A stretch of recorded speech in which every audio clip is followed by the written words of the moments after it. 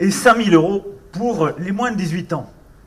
L'objectif, c'est véritablement qu'on maintienne ce chiffre et qu'on continue d'avoir de plus en plus de jeunes qui accèdent justement à ces contrats d'apprentissage et d'alternance.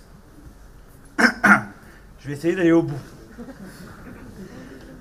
Deuxième chose, on l'a vu ce matin à travers le,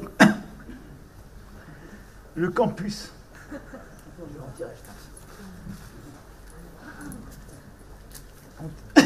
On, tient les distances, mais je pense m'étouffer avec ça.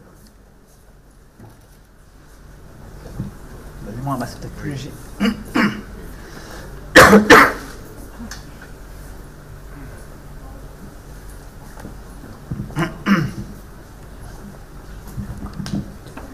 vais mettre un masque plus léger parce que j'ai dû euh,